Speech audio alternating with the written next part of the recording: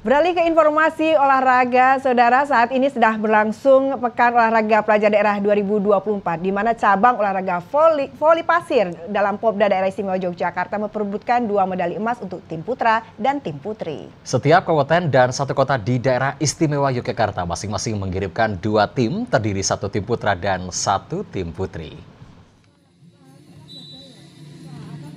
Berlangsung di lapangan voli pasir Kompleks Stadion Mandala Kerida Yogyakarta, cabur voli pasir Pekan Olahraga Pelajar Daerah 2024 memperebutkan dua medali emas untuk tim putra dan tim putri. Di cabur ini, setiap kabupaten dan satu kota masing-masing mengirimkan dua tim, terdiri satu tim putra dan satu tim putri, dengan syarat atlet-atlet voli pasir yang berlomba maksimal kelahiran 2006, rata-rata kelas 3 SMP dan 2 SMA.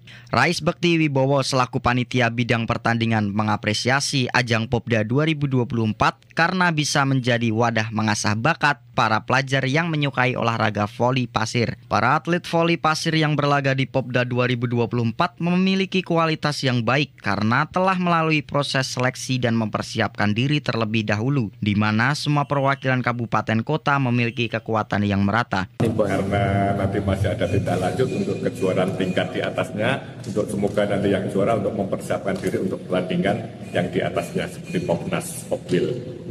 Popnas Popil ini tahun eh, berapa atau tahun ini? Uh, tahun depan. Oke. Untuk pesan-pesan uh, agar semakin berprestasi, Pak. Oke, agar semakin agar untuk uh, mempersiapkan diri, diri sedini mungkin agar nanti bisa ber, uh, mencapai prestasi yang diinginkan. Cabur voli pasir merupakan satu cabur andalan DIY dalam mendulang medali. Para atlet voli pasir DIY banyak yang berprestasi baik di tingkat nasional maupun internasional. Ajang Popda ini menjadi satu upaya meregenerasi para atlet muda yang akan disiapkan mengganti senior-seniornya.